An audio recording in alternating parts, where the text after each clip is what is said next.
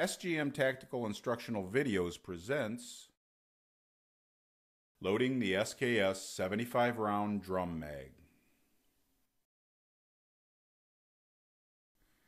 Please follow these instructions for your safety and to get the full benefit and proper function of this product.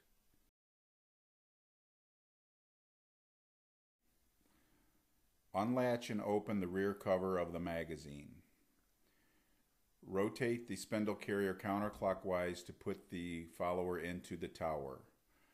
Carefully rotate the spindle carrier clockwise in order to move the follower to the load position using caution because now this the spindle carrier is under spring tension.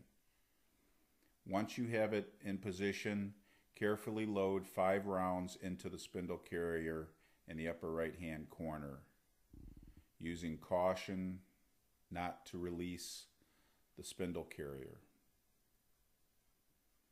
At this point, you'll allow the spindle carrier to push the five rounds up into the tower. Hold the last round with your finger, rotate the spindle carrier back to the load position and load five more rounds. Remember, the spindle carrier is still under spring tension at this point.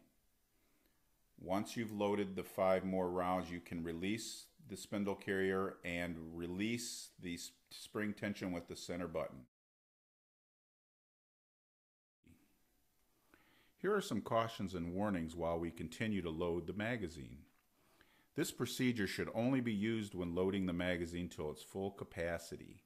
If you intend to load only a partial magazine, the magazine follower must be directly behind the last round. If there is a gap between the follower and the last round, the drum may be damaged during firing. We do not recommend partial loading of this magazine. Doing so will void the six month limited warranty.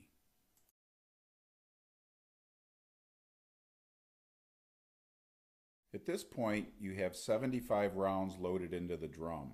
If you look into the upper left-hand corner in this area, you will see that you have a gap. You may now load three more rounds into the drum, giving it a capacity of 78 rounds.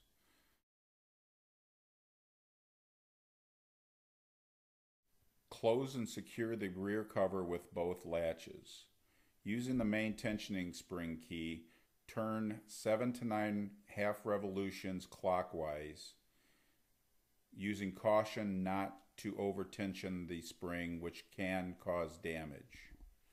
At this point, you can push out a round with your fingers to see if the round feeds cleanly. Now your mag is ready for use.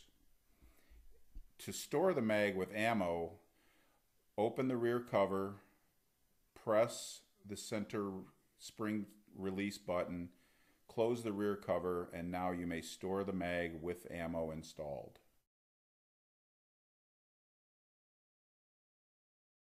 For more information or to see our full line of accessories, please visit SGM Tactical at www.sgmtactical.com.